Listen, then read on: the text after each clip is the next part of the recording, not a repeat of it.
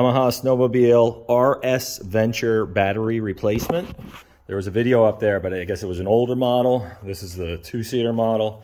So there's a cover here. This this guy's on the cover. There's a cover on there. So basically you, um, all you have to do is loosen these three, right, on this one.